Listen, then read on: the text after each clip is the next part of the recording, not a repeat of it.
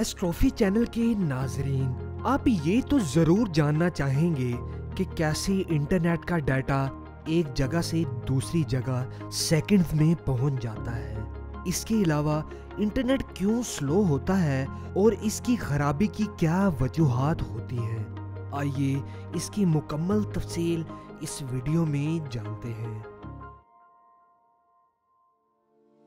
आमतौर पे ये समझा जाता है कि हम ऑनलाइन इंफॉर्मेशन हवा से, यानी सैटेलाइट्स के ज़रिए हासिल करते हैं। जबकि हकीकत ये है कि जिस कदर डाटा हवा में मौजूद है, इससे कहीं ज़्यादा डाटा समुंदर में मौजूद प्लास्टिक की तारों, जिन्हें फाइबर ऑप्टिक्स केबल्स कहा जाता है, इसके ज़रिए दुनिया के एक कोने से दूसरे कोने तक मुंतकिल किया जाता है। लेकिन इधर वही सवाल कि इसका वर्किंग प्रिंसिपल क्या है?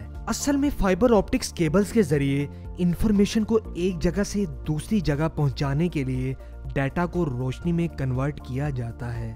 चूँकि रोशनी की स्पीड तेज तरीन होती है, लिहाजा इस डाटा को सेकंड में एक जगह से दूसरी जगह पहुँचाया जा सकता है। इस मकसद के लिए एक साइंसी असूल टोटल इंटरनल रिफ्लेक्शन का इस्तेमाल किया जाता है। इस असूल के तहत, जब रोशनी को एक स्पेसिफिक वेवलेंथ और एंगल के तहत फाइबर ऑप्टिक्स में दाखिल किया जाता है तो वो खुद ब खुद रिफ्लेक्ट होती रहती है और तवील फासला जल्द ही तय कर लेती है। लेकिन फाइबर ऑप्टिक्स के मटेरियल की खराबी या किसी और टेक्निकल वजह से रास्ते में डाटा ट्रांसफ़र स्लो होने या डाटा के ज़ाया होने का खतरा रहता है। लिहाजा हर 70 किलोमीटर के बाद रिपीटर्स लगाए जाते हैं। फाइबर ऑप्टिक्स को ज़मीन से समुद्र में दाखिल करने के लिए केबल लैंडिंग स्टेशंस बनाए जाते हैं, जहाँ से केबल को समुद्र से निकाला या दाखिल किया जाता है। ये तो था वर्किंग प्रिंसिपल, लेकिन अब इसके स्ट्रक्चर को समझने की कोशिश करते हैं। फाइबर ऑप्टिक्स केबल्स को बनाते वक्त इस बात का खसूसी ख्याल रखा जाता है कि ये इस कदर स्ट्रॉन्ग हो कि समुद्र की तह में उन्हें कोई नुकसान ना पहुँचा सके। इस मकसद के लिए फाइबर ऑप्टिक्स को आठ लेयर्स पर मुश्तमिल एक स्ट्रक्चर के ज़रिए बनाया जाता है। इस स्ट्रक्चर के सबसे अंदरूनी हिस्से में वो तार होती है जिसमें डेटा यानी रोशनी सफ़र करती है। इसका साइज़ 20 मिलीमीटर तक होता है, यानी एक इंसानी बाल के बराबर। फिर इसके ऊपर सात लेयर्स चढ़ाई जाती हैं ताकि इसकी स्ट्रेंथ को बढ़ाया जा सके।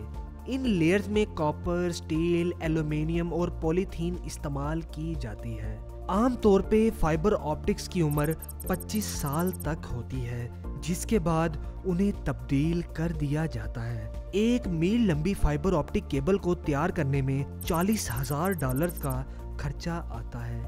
इसके अलावा मुख्तलिफ़ नेचुरल डिजास्टर्स और सी क्रिएचर्स इसे नुकसान भी पहुंचाते रहते हैं। लेकिन कंपनीज़ इसको फौरी रिपेयर कर लेती है। मजीद हिफाजत के लिए ऑप्टिकल फाइबर वाले एरिया में फिशिंग की इजाज़त नहीं दी जाती।